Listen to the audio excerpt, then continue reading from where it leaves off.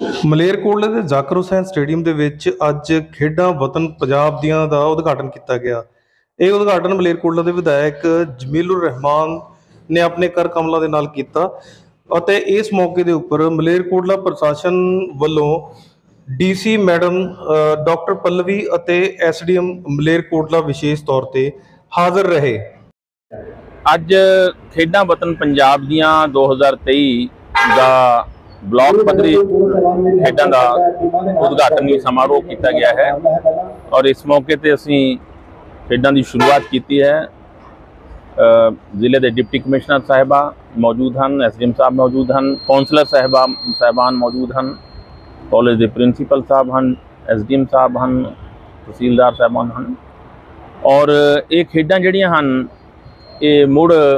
ਪੰਜਾਬ ਦੇ ਸਾਡੇ ਨੌਜਵਾਨਾਂ ਨੂੰ ਖੇਡਾਂ ਦੇ ਮੈਦਾਨਾਂ ਨਾਲ ਜੋੜ ਰਹੀਆਂ ਹਨ ਔਰ ਉਹਨਾਂ 'ਚ ਸ਼ੌਕ ਔਰ ਜਜ਼ਬਾ ਪੈਦਾ ਹੋ ਰਿਹਾ ਹੈ ਆਪਣੇ ਸਰੀਰਾਂ ਨੂੰ ਮਜ਼ਬੂਤ ਬਣਾਉਣ ਦਾ, ਤੰਦਰੁਸਤ ਬਣਾਉਣ ਦਾ ਔਰ ਇਹਦੇ ਨਾਲ ਜਿਹੜੇ ਸਾਡੇ ਬੱਚੇ ਬੱਚੀਆਂ ਕੁਝ ਗੁੰਮਰਾਹ ਹੋ ਕੇ ਨਸ਼ਿਆਂ ਦੀ ਲਤ ਵਿੱਚ ਫਸੇ ਹੋਏ ਨੇ, ਉਹਨਾਂ ਨੂੰ ਵੀ ਪ੍ਰੇਰਨ, ਪ੍ਰੇਰਿਤ ਕਰਕੇ ਖੇਡਾਂ ਦੇ ਮੈਦਾਨ ਨਾਲ ਜੋੜਨ ਦੀਆਂ ਕੋਸ਼ਿਸ਼ਾਂ ਕੀਤੀਆਂ ਜਾ ਰਹੀਆਂ ਹਨ ਤਾਂ ਕਿ ਉਹ ਵੀ ਆਪਣੇ ਜਿਸਮਾਂ ਨੂੰ ਮਜ਼ਬੂਤ ਔਰ ਤੰਦਰੁਸਤ ਬਣਾ ਸਕਣ ਔਰ ਨਸ਼ਿਆਂ ਤੋਂ ਖਹਿੜਾ ਛੁਡਾ ਸਕਣ।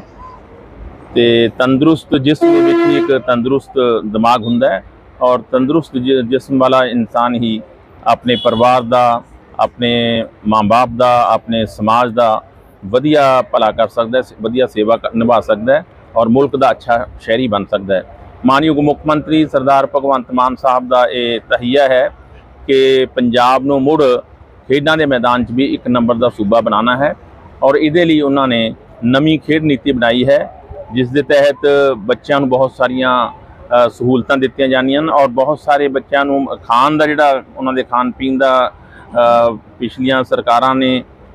ਬਹੁਤ ਘੱਟ ਰੱਖਿਆ ਸੀ ਪੈਸਾ ਤੇ ਉਹਦੇ ਲਈ ਵੀ ਅਸੀਂ ਖਾਣ ਪੀਣ ਦੇ ਮਾਮਲੇ 'ਚ ਵੀ ਕਾਫੀ ਉਹਨਾਂ ਨੂੰ ਅਸੀਂ ਵਧੀਆ ਡਾਈਟ ਦੇਣ ਦਾ ਫੈਸਲਾ ਲਿਆ ਹੈ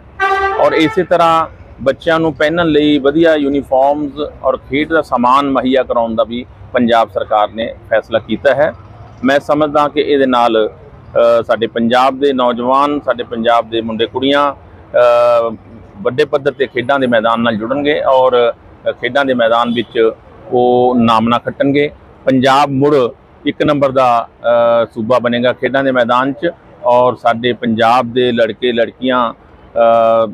올림픽 ਤੱਕ ਔਰ ਵਰਲਡ ਲੈਵਲ ਤੱਕ ਪੰਜਾਬ ਦਾ ਨਾਮ ਰੌਸ਼ਨ ਕਰਨਗੇ